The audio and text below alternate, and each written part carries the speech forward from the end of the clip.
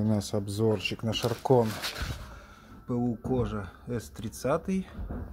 Так это дело выглядит. Посмотрим, как его с завода упакован.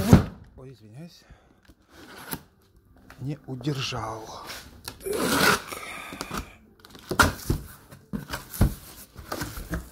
Вот такая у нас заводская упаковочка. Вот так он с завода упакован.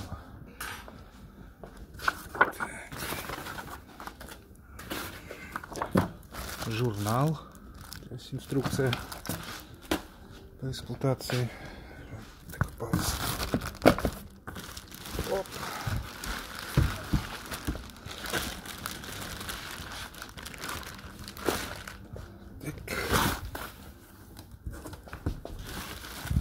Ну это, конечно, они загнули. Вот это подушенция. Она просто гигантская.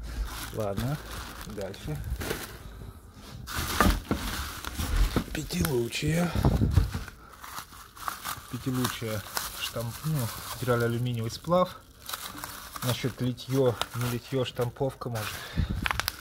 Ну, такая. Это лучше, чем из сегментов сварная или пластиковая. И вот такая вот здесь у нас сидушка. Так, напомню, это ПУ кожа. Так, по комплектации. Что у нас тут? Мини-коробочка. Да, напоминаю еще, что эта модель на Топгане идет. Большие колеса, перчатки, газлифт, пыльник Топган. Это на Топгане. Так, значит, он вот так вот выглядит. Спинка эргономичная, с изгибом небольшим изломом такими развальцовыми боковыми вставками. Напоминаю, что это дело на топгане. Топганчик у нас вот такой. То есть стандартный топган с приваренной юбкой. Сейчас будем дальше крепить подлокотники. Тоже все на оптимизации.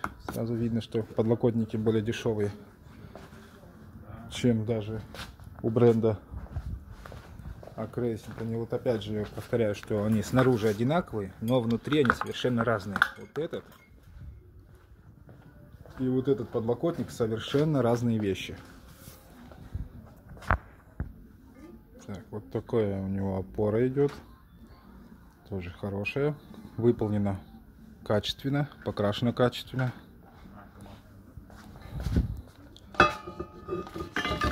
Вот так тогда будет все выглядеть. И снова тракторные колеса. То есть большого диаметра. Конечно, это не есть хорошо. Поставили стандартные колеса воткнули бы.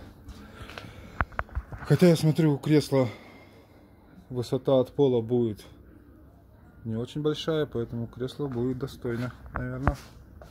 Ну, только топган. Так, вот она эта модель в сборе.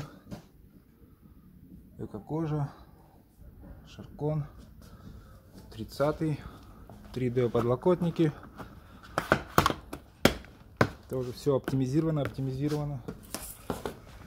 Вот такая гигантская подушка что даже она не влазит у них в боковую поддержку. Переборщили товарищи. Вот это уже подушка более плотная. Но тоже чувствуется memory. Здесь тоже memory.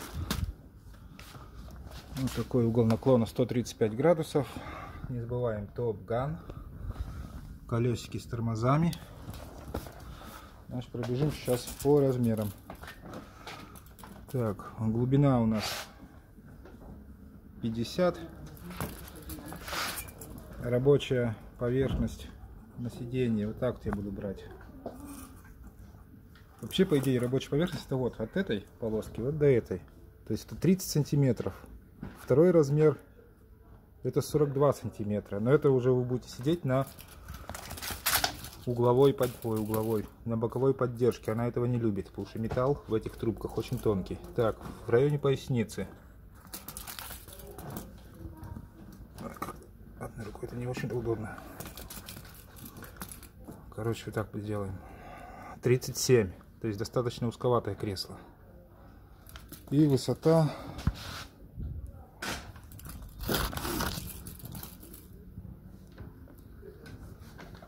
85 сантиметров. Ну и раскрытые плечи. То есть плечи тут у нас раскрыты. Любые войдут. Узкие, широкие. А так 52 сантиметра.